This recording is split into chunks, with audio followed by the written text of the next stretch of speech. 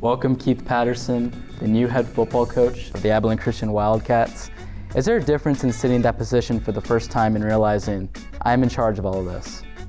No, I, I, there's really not a difference in my opinion. I'm just dealing with different things than what I what I've done in the past. Obviously, uh, from a defensive perspective to now the big picture and all three phases of the game and managing people.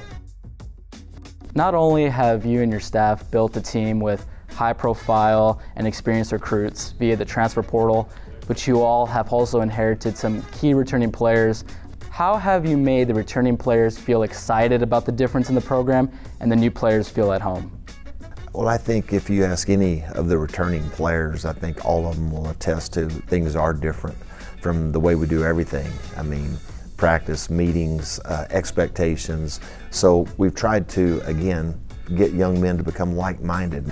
And, you know, when you show the young men who came back the difference, uh, then that in their buy-in go, it just gets higher.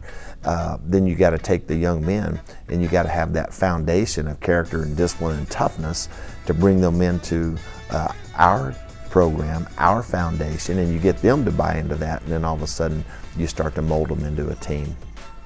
Well, Coach, let's talk about the impact that you have. How has your faith-based philosophy influenced who your players are as student athletes, and how can that guidance help them perform on the field? Well, I, I got into coaching to make a difference in the lives of people, and, uh, it, and it's always been more than just about X's and O's. Uh, you know, we want these young men to grow up to be good husbands, good fathers, and, and you know, productive citizens in their communities. And um, we continually pour into those guys, and, and uh, we want to we want to see them go on and be successful.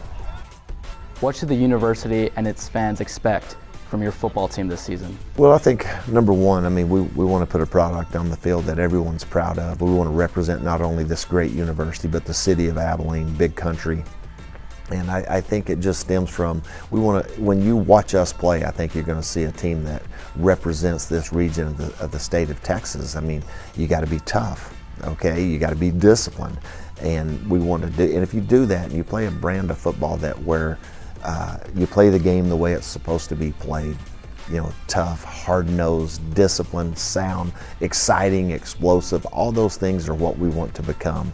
And when people watch that, we hope that's what they see.